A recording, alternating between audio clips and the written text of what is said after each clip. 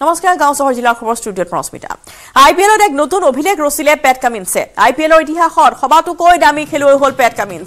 বিছ কোটি পঞ্চাছ লাখত পেট কামিন্সক কিনিলে ছানৰাইজ হায়দৰাবাদে। বিশ্বকাপৰ চেম্পিয়ন অষ্ট্ৰেলিয়ান দলৰ অধিনায়ক আছিল পেট কামিন্স আৰু পূৰ্বে কলকাতা নাইট ৰাইডাৰ্ছত আছিল পেট কামিন্স। ইয়াৰ পূৰ্বে আই পি এলৰ সবাতোকৈ দামী খেলুৱৈ আছিল ছেম ছেম কুৰাণ। পাঞ্জাৱ কিংছে দুহেজাৰ তেইছ বৰ্ষত সোতৰ কোটি পঞ্চাছ লাখত কিনিছিল ছেম কুৰাণক কিন্তু এইবাৰ সকলো অতিক্ৰম ভংগ কৰিছে পেট কামিন্সে আই পি এলত নতুন অভিলেখ ৰচিছে পেট কামিন্সে আই পি এলৰ সবাতোকৈ এতিয়া দামী খেলুৱৈ হৈছে পেট কামিন্স বিছ কোটি পঞ্চাছ লাখত পেট কামিন্সক ক্ৰয় কৰিছে ছানৰাইজ ছানৰাইজাৰ্ছ হায়দৰাবাদে আই পি এলৰ বাবে। আহি থকা আই পি এলৰ বাবে তেওঁক ইতিমধ্যেই এইটো দামত ক্ৰয় কৰিছে। বিশ্বকাপৰ চেম্পিয়ন অষ্ট্ৰেলিয়ান দলৰ অষ্ট্ৰেলিয়া দলৰ অধিনায়ক পেট কামিন্স পূৰ্বে কলকাতা নাইট ৰাইডাৰ্ছ ৰাইডাৰ্ছৰ আছিল তেওঁ কিন্তু ইয়াৰ পূৰ্বে আই পি এলৰ সবাতোকৈ দামী খেলুৱৈ হিচাপে আছিল ছেম কুৰাণ তেওঁ পাঞ্জাৱ কিংছে দুহেজাৰ তেইছ বৰ্ষত সোতৰ কোটি পঞ্চাছ লাখত কিনিছিল কিন্তু এইবাৰ সেই অভিলেখো ভংগ কৰিছে। এক নতুন অভিলেখ ৰচিছে আই পি এলত পেট কামিন্সে।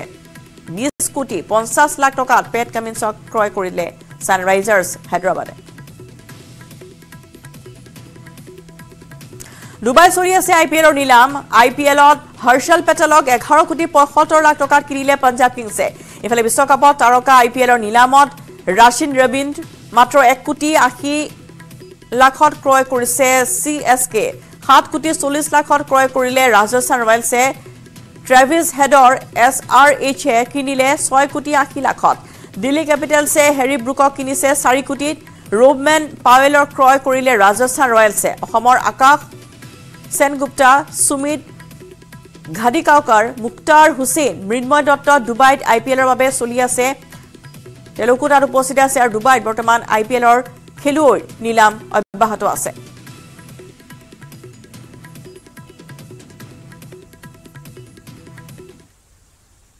DGP G P Singh Paresh Bora চেলেঞ্জৰ পিছতে গুৱাহাটীত এতিয়া আলফা স্বাধীনৰ কেডাৰ গ্ৰেপ্তাৰ কৰা হৈছে। মালিগাঁৱত বাহৰ পাতি থকা অৱস্থাত অস্ত্ৰ শস্ত্ৰসহ তিনি আলফা স্বাধীনৰ কেডাৰ গ্ৰেপ্তাৰ কৰা হ'ল। পাণ্ডুৰ বি বি চি কলনীত আত্মগোপন কৰি আছিল আলফা সদস্যৰ এই তিনি সদস্যই আলফা স্বাধীনৰ তিনি সদস্যই তাত আত্মগোপন কৰি আছিল। অসীম অধিকাৰী মুন দেৱনাথ আৰু ৰূপজ্যোতি দাস তেওঁলোকক গ্ৰেপ্তাৰ কৰা হৈছে। তিনি কেডাৰৰ পৰা জব্দ কৰা হৈছে অত্যাধুনিক মাৰণাস্ত্ৰ। ৰূপজ্যোতি দাস আছিল মূল কেডাৰ ৰূপজ্যোতিক লখৰাৰ পৰা গ্ৰেপ্তাৰ কৰিছে আৰক্ষীয়ে। ফোনৰ লোকেশ্যন ট্ৰেচ কৰি গ্ৰেপ্তাৰ কৰা হৈছে। ৰূপজ্যোতিক গুৱাহাটীত দুই বছৰ ধৰি বাহৰ পাতি আছিল ৰূপজ্যোতি দাসে পূৰ্বে ৰূপজ্যোতি তিনিচুকীয়াৰ বোমা বিস্ফোৰণত জড়িত থকাৰ তথ্যও আহিছে পোহৰলৈ। বাকী দুই কেডাৰক পাণ্ডুৰ পৰা গ্ৰেপ্তাৰ কৰিছে। আৰক্ষীয়ে উদ্ধাৰ হোৱা মাৰণাস্ত্ৰ বহুদিনে ব্যৱহাৰ হোৱা নাছিল। গুৱাহাটীৰ আলফা স্বাধীনৰ সক্ৰিয় সদস্য হিচাপে কাম কৰিছিল অসীমে। নতুন সদস্য ভৰ্তি অভিযানৰ নেতৃত্ব লৈছিল অসীমে। নিজকে কম্পিউটাৰ অপাৰেটৰ হিচাপে চিনাকি দিছিল অসীমে। উল্লেখ কৰিব পাৰি যে উজনিত সক্ৰিয় হৈ আছিল আলফা স্বাধীন। তিনিচুকীয়া শিৱসাগৰ আৰু যোৰহাটত গ্ৰেনেড বিস্ফোৰণো সংঘটিত কৰিছিল আলফা স্বাধীনে। আলফা স্বাধীনৰ বিৰুদ্ধে ডিজিপি জি পি সিঙে মন্তব্য কৰাৰ পিছতে ডিজিপিকো চেলেঞ্জ কৰিছিল আলফা স্বাধীনে। ইয়াৰ পিছতে আজি খুদ গুৱাহাটীত আলফা স্বাধীনৰ সদস্য গ্ৰেপ্তাৰ হোৱা ঘটনাই যথেষ্ট তাৎপৰ্য বহন কৰিছে। আৰু এই মুহূৰ্তত হীৰক যদি মালাকাৰ আছে পোনপটীয়া সম্প্ৰচাৰত হীৰক ইতিমধ্যে গুৱাহাটী মহানগৰীত অস্ত্ৰ শস্ত্ৰসহ তিনি আলফা কেডাৰ গ্ৰেপ্তাৰ কৰা হৈছে। তেওঁলোকৰ উদ্দেশ্য কি আছিল? ক'ত বাহৰ পাতি আছিল আৰু কেনেদৰে আৰক্ষীয়ে অভিযান চলালে? আপোনাৰ পৰা সবিশেষ খবৰ আমি জানিব বিচাৰিম। চাওক এতিয়া আপোনালোকে সকলোৱে জ্ঞাত যে এই মুহূৰ্তত কিছু সময় পূৰ্বে তিনিজন তিনিজনকৈ আলফা সদস্যক ইতিমধ্যে গ্ৰেপ্তাৰ কৰা হৈছে। চান পাণ্ডু যি বি বি চি কলনী আছে। সেই বি বি চি কলনীৰ পৰা তিনি আলফাৰ লিংমেনক ইতিমধ্যে গ্ৰেপ্তাৰ কৰা হৈছে। আৰু এই তিনি লিংমেনক কিছু সময় পিছতেই আদালতত লৈ যোৱা হ'ব। আদালতত লৈ যোৱাৰ পিছতো হয়তো যি জালুকবাৰী আৰক্ষী থানা আছে জালুকবাৰী আৰক্ষী থানাৰ থানা জিম্মাত লোৱাৰ সম্ভাৱনা আছে। কিয়নো তেওঁলোকৰ পৰা যথেষ্ট তথ্য উৎখাদন কৰা কৰিবলৈ বাকী আছে। কাৰণ তেওঁলোকে কি উদ্দেশ্যেৰে আহিছিলে আচলতে গুৱাহাটীত কিয় কেনেদৰে বাহৰ পাতিছিলে এনেধৰণৰ বিভিন্ন তথ্য ল'বলৈ বাকী আছে। এই তিনিজনৰ কথা ক'ব বিচাৰিম যে ইয়াৰে দুজন অসীম অধিকাৰী আৰু মুন দেৱনাথৰ ঘৰ বি বি চি কলনীতে তেওঁ তেওঁলোকে বাসবাস কৰে। আৰু অসীম অধিকাৰী পূৰ্বেও আলফা লিংমেনৰ গোচৰত বা লিংমেনৰ লিংমেনৰ ঘটনা গোচৰত তেওঁ গ্ৰেপ্তাৰ হৈছিলে।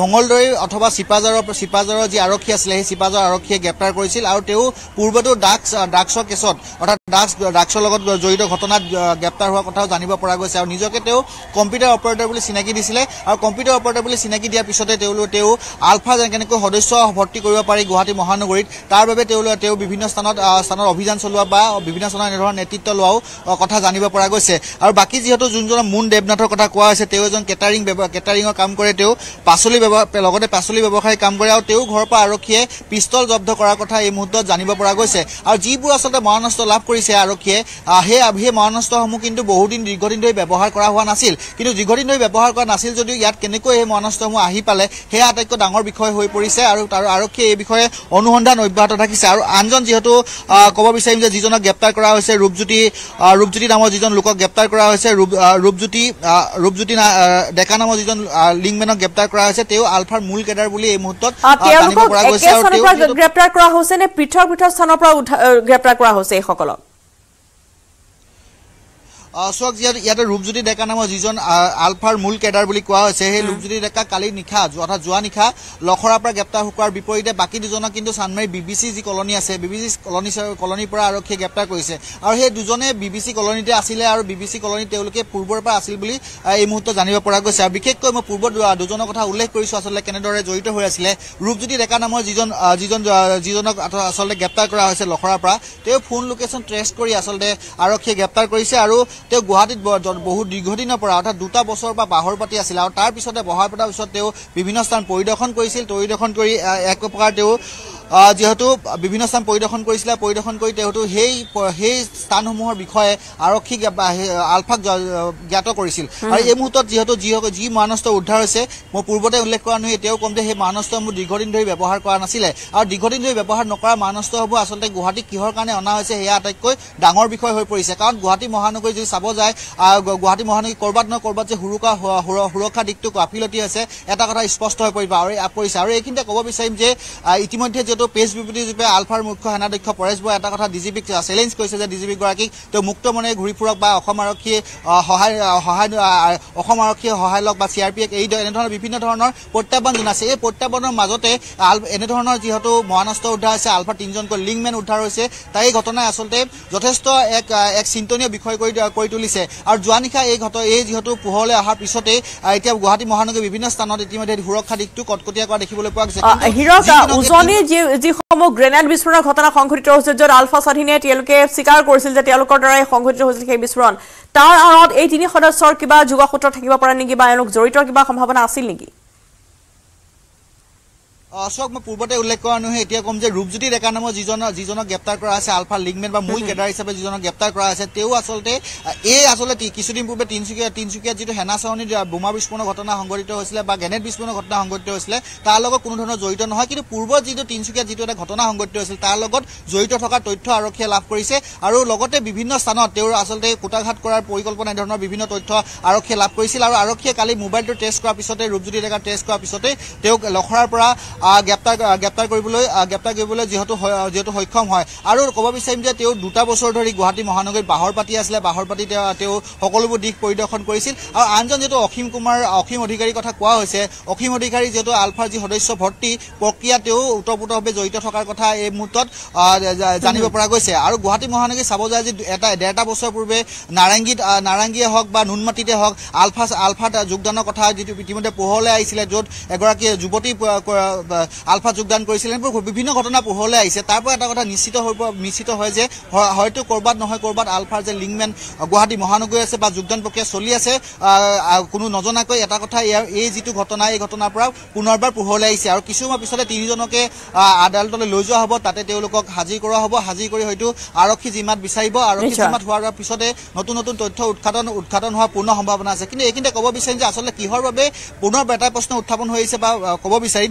কিহৰ বাবে এই তিনিজনে ইয়াত বাহৰ পাতি বাহৰ পাতি আছিলে কেনেদৰে তেওঁলোকক জব্দ কৰিব মহাৰাষ্ট্ৰসমূহ জব্দ কৰিলে সেই আটাইতকৈ ডাঙৰ বিষয় আছিলে কিন্তু ক'ৰবাত কুৰ্তাঘাটৰ পৰিকল্পনা কৰিছিলে নেকি গুৱাহাটী মহানগৰীত। এনেধৰণৰ বিভিন্ন প্ৰশ্ন উত্থাপন হৈ আছে কাৰণ ডি জি পি গৰাকী আৰু আলফাৰ সেনাধ্যক্ষ পৰেশ বৰা যি যিবোৰ আচলতে কথোপকথন যিবোৰ আচলতে চেলেঞ্জ চেলেঞ্জ বা প্ৰত্যাহ্বান সেই প্ৰত্যাহ্বানৰ পৰা এটা কথা নিশ্চিত বা এটা কথা অনুমান কৰিব পাৰি যে ক'ৰবাত নহয় ক'ৰবাত আচলতে কুটাঘাটৰ ঘট- আশংকা কৰাৰো সম্ভাৱনা আছিল চাগে। নিশ্চয়কৈ হীৰক ধন্যবাদ জনাইছো। আপুনি এইখিনি যথেষ্ট গুৰুত্বপূৰ্ণ তথ্য দিলে। যে কুটাঘাটৰ সম্ভাৱনা আছিল হয়তো গুৱাহাটী মহানগৰৰ সেইবাবে এনেদৰে তিনিগৰাকীকৈ আলফাৰ লিংকমেন কেডাৰ এনেদৰে বাহৰ পাতি আছিল গুৱাহাটী মহানগৰীত আৰু এগৰাকী অসীম নামৰ যিগৰাকী ব্যক্তি তেওঁ নতুন সদস্য ভৰ্তি অভিযানৰ নেতৃত্ব লৈছিল। বিভিন্ন প্ৰান্তত নিজকে কম্পিউটাৰ অপাৰেটৰ হিচাপে তেওঁ চিনাকি দিছিল আৰু উজনিত সক্ৰিয় হৈ আছিল আলফা স্বাধীন আৰু বিশেষকৈ উজনিৰ বহু সংখ্যক যুৱক যুৱতীক তেওঁলোকে আলফা স্বাধীনত অন্তৰ্ভুক্ত কৰাইছিল আৰু সেইগৰাকী যুৱকক ইতিমধ্যে আৰক্ষীয়ে গ্ৰেপ্তাৰ কৰিছে। কিছু সময় পিছতে আদালতত হাজিৰ কৰা হ'ব আৰু আৰক্ষীৰ জিম্মাৰ কালচোৱাতে আৰু বহুতো নতুন তথ্য পোহৰলৈ অহাৰ সম্ভাৱনা আছে। জিলাৰ খবৰ লৈছো এটি ভাৰতৰ গৌৰৱ গোটেই বিশ্বতেই ইয়াৰ সন্মান ষ্ট্ৰং মানে মাইথান ষ্টীল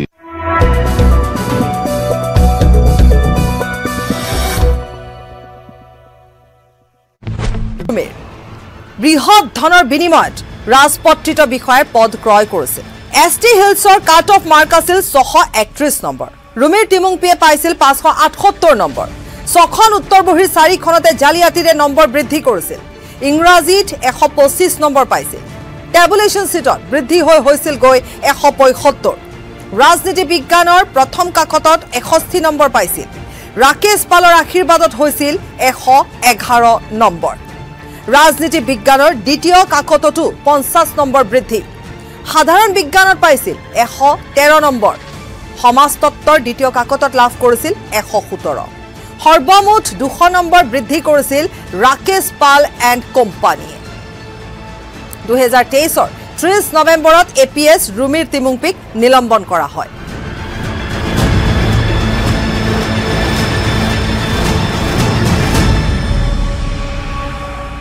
আৰু সেইগৰাকী ৰুমিৰ তিমুংপিক জেৰা চলাই থকা হৈছে। আৰু জেৰাৰ অন্তত ৰুমিৰ তিমুংপিক গ্ৰেপ্তাৰ কৰিব নে নকৰে সেয়া এতিয়ালৈকে স্পষ্ট নহয়। কাৰণ এতিয়ালৈকে দেখিবলৈ পোৱা গৈছে প্ৰত্যেকগৰাকী ৰাজপত্ৰিত বিষয়াক সোধা পোছাৰ অন্তত যাবলৈ দিয়া হৈছে। যিয়ে নহওক এই এ পি এছ চি কেলেংকাৰীয়ে কি মূৰ ল'ব সেয়া পৰৱৰ্তী সময়ত জানিব পৰা যাব।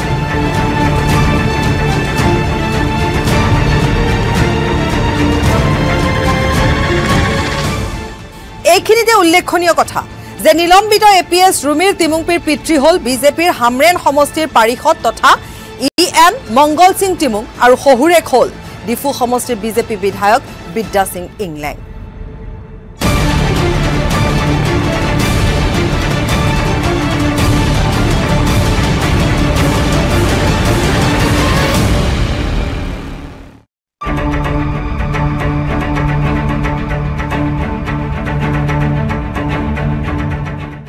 আই টি কাৰ্যালয়ত উপস্থিত ৰুমিৰ তিমুংপি পুৱাৰ ভাগতে উপস্থিত হৈছে ৰুমিৰ তিমুংপি আৰু বৰ্তমান ৰুমিৰ তিমুংপিক জেৰা চলাই থকা হৈছে। আজি দিনটো জুৰি ৰুমিৰ তিমুংপিক জেৰা চলাইছে এছ আই টিৰ কাৰ্যালয়ত।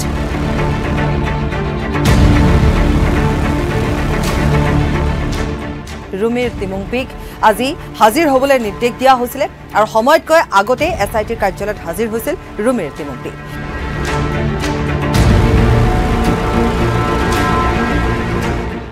ৰুমিৰ তিমুংপিয়ে বৃহৎ ধনৰ বিনিময়ত ৰাজপত্ৰিত বিষয়াৰ পদ ক্ৰয় কৰিছিল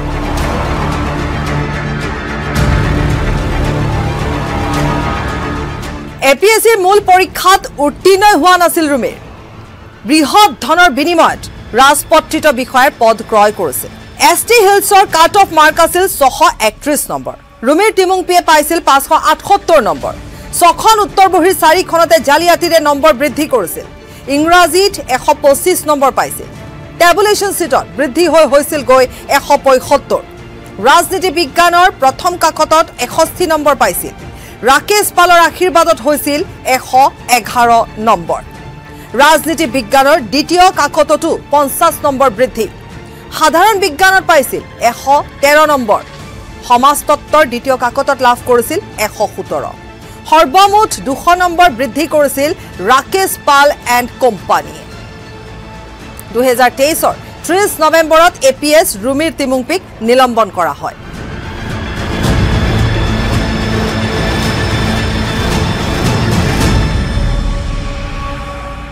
আৰু সেইগৰাকী ৰুমিৰ তিমুংপিক জেৰা চলাই থকা হৈছে। আৰু জেৰাৰ অন্তত ৰুমিৰ তিমুংপিক গ্ৰেপ্তাৰ কৰিব নে নকৰে সেয়া এতিয়ালৈকে স্পষ্ট নহয়। কাৰণ এতিয়ালৈকে দেখিবলৈ इरादों के सफर का सरताज हूँ मैं शहर से गांव तक सड़कों का मोहताज हूँ मैं आ रहा हूँ मैं आसाम की सड़कों पर कुमार इंजीनियरिंग का नया ताज हूँ coming soon Kumar engineering we understand your need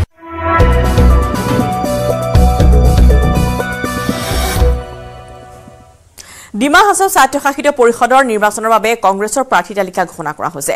আঠাইছটা সমষ্টিৰ প্ৰাৰ্থী তালিকা ঘোষণা কৰা হ'ল। হাফলঙৰ পৰা ডন পাইননক থাউচেনক প্ৰাৰ্থিত্ব দিয়া হৈছে। জাতিংগাৰ বিজেপিৰ প্ৰাৰ্থী ফ্লেমিং ৰূপচী চিল্লাক দিয়া হৈছে প্ৰাৰ্থিত্ব। বৰাইলৰ পৰা এন লিংথাঙক প্ৰাৰ্থিত্ব প্ৰদান কৰা হৈছে। মাহুৰৰ পৰা প্ৰমিতা জহৰিক প্ৰাৰ্থিত্ব প্ৰদান। জিনামৰ প্ৰাৰ্থী হৈছে জচুম থাং হেমাৰ। হেংগ্ৰামৰ প্ৰাৰ্থী হৈছে নোৱা ডাইমে। লেইচাংনৰ পৰা পাইডামিং নিৰাইমক প্ৰাৰ্থিত্ব প্ৰদান কৰা হ'ল। ডাও টুহাজাৰ পৰা প্ৰণত ৰাজিয়ুঙক প্ৰাৰ্থিত্ব দিয়া হৈছে। মাইবং ইষ্টৰ পৰা মঞ্জয় লাংথাছাক প্ৰাৰ্থিত্ব। মাইবং পশ্চিমৰ পৰা মোহিত হুজাইক প্ৰাৰ্থিত্ব। কালাচান্দৰ পৰা বিজেপিৰ প্ৰাৰ্থী হৈছে ৰতন জাম জামৰ বুছা জাজাউচুৰ বিজেপিৰ প্ৰাৰ্থী হৈছে বিশ্বজিৎ দোলাগাপু। হাছা জিছাৰ বিজেপিৰ প্ৰাৰ্থী হৈছে প্ৰজিত হুজাই। লেংটিঙৰ পৰা ধৃতি থাউচেনক প্ৰাৰ্থিত্ব প্ৰদান হাতীখালীৰ পৰা নিৰঞ্জন হুজাইক প্ৰাৰ্থিত্ব প্ৰদান কৰা হ'ল। ডিউব্ৰাৰ পৰা ৰূপালী লাংথাছাক প্ৰাৰ্থিত্ব গৰমপানীৰ পৰা হামসিং ইংটিক প্ৰাৰ্থিত্ব খৰটঙৰ পৰা লাল লালৰেম চিয়ামা ডাইৰ ডাৰ্নিক প্ৰাৰ্থিত্ব দিয়া হৈছে। দেহাংগীৰ বিজেপিৰ প্ৰাৰ্থী হৈছে দেৱলাল গাৰ্লুচা গুঞ্জুঙৰ প্ৰাৰ্থী হৈছে নজিদ কেম্প্ৰাই হাডিংমাৰ পৰা দেৱজিৎ বঠাৰীক প্ৰাৰ্থিত্ব প্ৰদান দিহামলাইৰ পৰা নামৰাং জেমক প্ৰাৰ্থিত্ব প্ৰদান কৰা হৈছে। হাৰংগাজাৰ পৰা অমেন্দু হুজাইক দিয়া হৈছে প্ৰাৰ্থিত্ব। হামৰিৰ পৰা মছজিদ নাইডিঙক প্ৰাৰ্থিত্ব দিয়া হ'ল। লোৱাৰ খাৰটঙৰ পৰা নাগামথাৰাক হেমৰাঙক প্ৰাৰ্থিত্ব প্ৰদান কৰা হৈছে। দৰং সমষ্টিৰ পৰা জোৱান থংজেম হেৰাংখলক প্ৰাৰ্থিত্ব প্ৰদান কৰা হৈছে ডিগাৰৰ পৰা চামুৱেল চাংচনক প্ৰাৰ্থিত্ব প্ৰদান চেমখৰ পৰা ৰাণু লাংথাছাক প্ৰাৰ্থিত্ব প্ৰদান Right constituency, Gulmin Lal, Lane Thang, Dotu Haza, Dautu Haza, Pranov, Rajiung, Maibong Maibong West, Mohit Huzai, Kalasan, Sri Rotan Zarambusa, Wazau constituency, Shri Biswajit দাউলা কাপু হাজাদিছা শ্ৰী প্ৰজিত হোজাই চৈধ্য নম্বৰ লাংটিং ধৃতি থাউচেণ্ড হাতীখালী শ্ৰী নিৰঞ্জন হোজাই ডিউংব্ৰা শ্ৰীমতী ৰূপালী লাংথাচা গৰমপানী চামচিং ইংটি। ইয়াৰ পিছত খাৰটং শ্ৰী ৰামৰেম চিয়ামা ডাৰ্মি ছাব্বিছ number constituency Dalong. Suanthang Jem Rangkhol Digar Samuel Changsan. Semkhor Shrimati Ranu Langthasa এই আঠাইছগৰাকী আমাৰ ফালৰ পৰা মনোনীত কৰা। পাৰ্টীৰ ফালৰ পৰা তেওঁলোকক আমি টিকেট দিছোঁ। আক্তাৰ হুছেইনক তলব কৰিছে চি এম ভিজিলেন্সে। ভূমি সংৰক্ষণ বিভাগৰ মাণ্ডলিক বিষয়া হৈছে আক্তাৰ হুছেইন। আই বহিৰ্ভূত সম্পত্তি আহৰণৰ অভিযোগ আক্তাৰৰ বিৰুদ্ধে উত্থাপন হৈছে। বৰ্তমানেও কাছাৰত ভূমি সংৰক্ষণ বিভাগত কৰ্মৰত। গ্ৰেপ্তাৰৰ ভয়ত অগ্ৰিম জামিন লাভ কৰিছে আক্তাৰ হুছেইনে। আজি পুৱা পুনৰ আক্তাৰ হুছেইনৰ ঘৰত চলাইছিল অভিযান। কেইবাখনো পলিচি সোণৰ গহনা উদ্ধাৰ কৰিছে তদন্তকাৰী দলে। গুৱাহাটীৰ হাতীগাঁৱৰ শেৱালি পথৰ অট্টালিকাত অভিযান অব্যাহত আছে। শেৱালি পথৰ বাসগৃহৰ উপৰিও চিজুবাৰী কটাবাৰীত আছে ফ্লেট আৰু বিল্ডিং। নদবমা সাউকুচিত আছে কেইবা বিঘা মাটি। গোৱালপাৰাৰ কেইবাটাও স্থানত আছে মাটি এটা সাতমহলীয়া অট্টালিকা। বহু নিকট আত্মীয়ৰ নামতো আছে বহু কোটি টকাৰ সম্পত্তি। আজি জেৰাৰ সন্মুখীন হ'ব আক্তাৰ হুছেইন। বহুকেইটা বেংক একাউণ্ট আছে আক্তাৰ হুছেইনৰ। কোটি কোটি টকাৰ গৰাকী হৈছে আক্তাৰ হুছেইন। লকাৰৰ তথ্য বিচাৰি বেংকলৈ পত্ৰ প্ৰেৰণ কৰিছে চি এম ভিজিলেন্সে। এইবাৰ ভূমি সংৰক্ষণ বিভাগৰ মাণ্ডলীৰ বিষয়াৰ ঘৰত চলিছে অভিযান। আই বহিৰ্ভূত সম্পত্তি আহৰণৰ অভিযোগ উত্থাপন হৈছে। এইগৰাকী মাণ্ডলিক বিষয়া আক্তাৰ হুছেইনৰ বিৰুদ্ধে আই বহিৰ্ভূত সম্পত্তি তেওঁ আহৰণৰ অভিযোগ উঠিছে। বৰ্তমানেও কাছাৰত তেওঁ ভূমি সংগ্ৰহ সংৰক্ষণ বিভাগত কৰ্মৰত আৰু এতিয়া গ্ৰেপ্তাৰৰ ভয়ত অগ্ৰিম জামিন লাভ কৰিছে আক্তাৰ হুছেইনে। আজি পুৱা পুনৰ আক্তাৰ হুছেইনৰ ঘৰত চলাইছে অভিযান। কেইবাখনো পলিচি সোণৰ গহনা উদ্ধাৰকাৰী দলে উদ্ধাৰ কৰিছে। শেৱালি পথৰ যিটো অট্টালিকা আছে তেওঁৰ সেই অট্টালিকাটো অভিযান অব্যাহত ৰখা হৈছে। তাৰ কিছু দৃশ্যাংশ আমি দেখুৱাইছোঁ।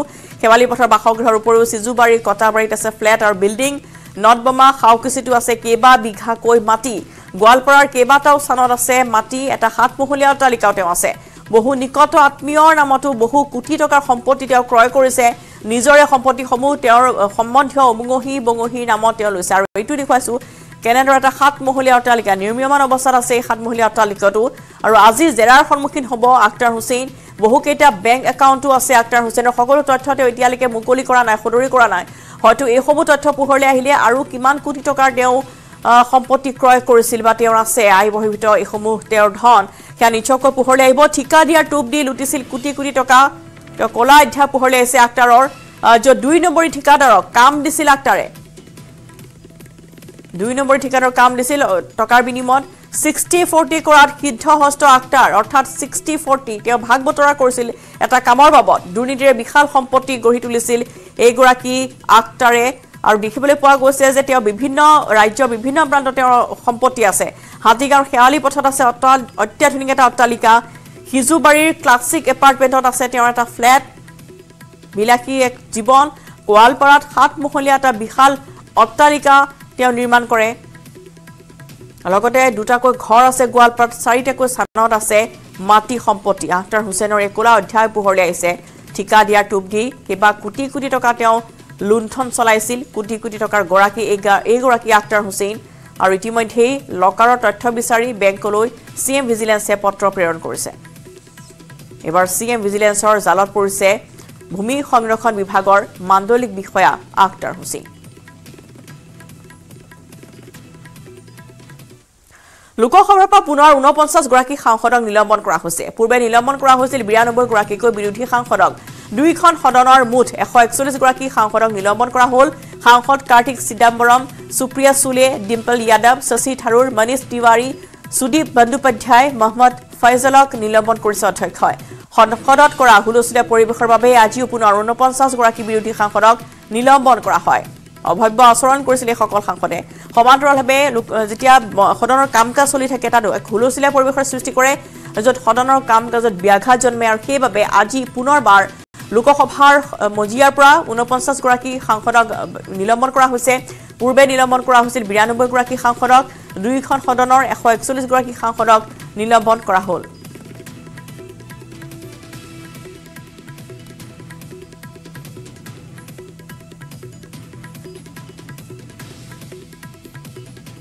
সংসদৰ চৌহদত বিৰোধীৰ অভব্য আচৰণ। ৰাজ্যসভাৰ অধ্যক্ষৰ মিমিক্ৰী তৃণমূলৰ সাংসদৰ। টি এম চি সাংসদ কল্যাণ বেনাৰ্জীৰ অভব্য আচৰণ বা কাণ্ড বন্দী হৈছে য'ত অধ্যক্ষ তথা উপ ৰাষ্ট্ৰপতি জগদীপ ধনখেৰৰ তেওঁ মিমিক্ৰী কৰিছিল। বেনাৰ্জীৰ কাণ্ডত এতিয়া বিৰোধী সাংসদসকলে দিছে হাত চাপৰি। নিলম্বিত বিৰোধী সাংসদৰ অভব্য আচৰণ এতিয়া সংসদৰ বাহিৰত ৰাজনৈতিক মহলত সৰব চৰ্চা চলিছে য'ত ৰাহুল গান্ধীয়েও নীৰৱে চাই থাকিল কল্যাণ বেনাৰ্জীৰ কাণ্ড। পেণ্টৰ পকেটত হাত দি ৰাহুল গান্ধীয়ে উপভোগ কৰিলে সেই দৃশ্য। কল্যাণ বেনাৰ্জীৰ এই কাণ্ডৰ ৰেকৰ্ডো কৰিলে একাংশ সাংসদে। দেখুৱাইছোঁ কেনেদৰে দৃশ্য ৰেকৰ্ডিং কৰিলে ৰাহুল গান্ধীয়ে সমান্তৰালভাৱে অসমৰ আন তিনিওগৰাকী সাংসদ তাত উপস্থিত আছিল যিহেতু নিলম্বন কৰা হৈছে অসমৰ তিনিগৰাকী সাংসদকো। আজি তাত আব্দুল খালেক সাংসদ গৌৰৱ গগৈকো তাত বহি থকা দেখিবলৈ পোৱা গ'ল। কল্যাণ বেনাৰ্জীৰ দুটা শাৰীৰ পিছত দেখিবলৈ পোৱা গ'ল সাংসদ গৌৰৱ গগৈ বগা চাৰ্ট পৰিহিত। আৰু আনফালে এইটো এইটো ফালে যদি আমি চাওঁ যে ৰাহুল গান্ধীয়ে যিগৰাকী বিৰোধীয়ে প্ৰধানমন্ত্ৰীৰ পদৰ বাবে প্ৰক্ষেপ কৰিছে ৰাহুল গান্ধী কেনেদৰে দেখিবলৈ পোৱা গ'ল? টি এম চিৰ সাংসদ কল্যাণ বেনাৰ্জীয়ে মিমিক্ৰী উপভোগ কৰা। লগতে উপস্থিত আছিল সেই সাংসদসকলৰ সৈতে অসমৰ সাংসদ গৌৰৱ গগৈ আৰু সাংসদ আব্দুল খালেকো। নিলম্বিত এইসকল বিৰোধী সাংসদে সদনৰ বাহিৰত সংসদৰ বাহিৰত এক আচৰণ কৰিছে যি অভব্য আচৰণ হিচাপে এতিয়া বিজেপিয়ে তেওঁলোকক কটাক্ষ কৰিছে। দৃশ্য ৰেকৰ্ডিঙো কৰিলে ৰাহুল গান্ধীয়ে। বহুকেইগৰাকী সাংসদে তেওঁলোকৰ মোবাইলৰ কেমেৰাত বন্দী কৰিলে কিছুসংখ্যকে আকৌ হাততালিও বজালে। গতিকে এতিয়া জগদীপ ধনখৰেও নিজে প্ৰতিক্ৰিয়া ব্যক্ত কৰিছে যে এয়া কেনেধৰণৰ তেওঁলোকৰ আচৰণ। সকলো কামৰ এটা সীমা থকা উচিত কিন্তু এইসকল সাংসদে সকলো সীমা অতিক্ৰম কৰিছে বুলি মন্তব্য কৰে কৰিলে। ৰাজ্যসভাৰ অধ্যক্ষগৰাকীয়ে। আৰু ইয়াৰ লগতে গাঁও চহৰ জিলাৰ খবৰৰ পৰা বিদায় লৈছোঁ। নমস্কাৰ। ভাৰতৰ গৌৰৱ গোটেই বিশ্বতেই। ইয়াৰ সন্মান ষ্ট্ৰং মানে মাইথান ষ্টীল।